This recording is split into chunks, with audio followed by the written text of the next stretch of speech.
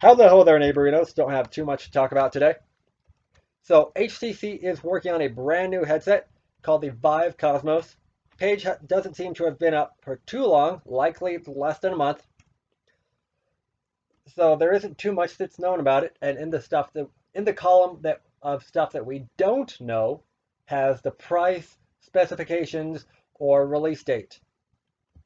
What we do know are that it's marketed as a premium PCVR headset. Judging by the pictures that we can find, it is wireless.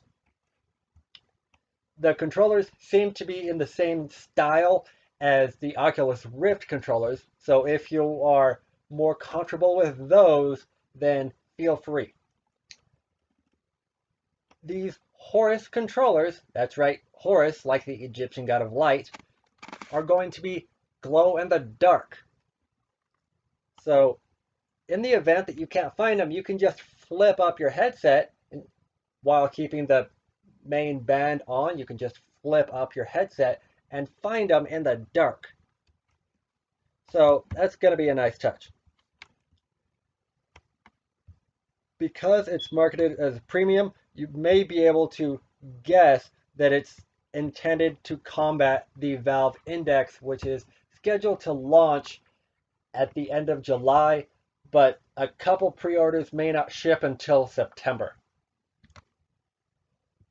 But again, the Vive Cosmos has no set release date or known specifications. So as far as whether or not it actually will deal with the index, that remains to be seen. I believe I've rambled on enough for today.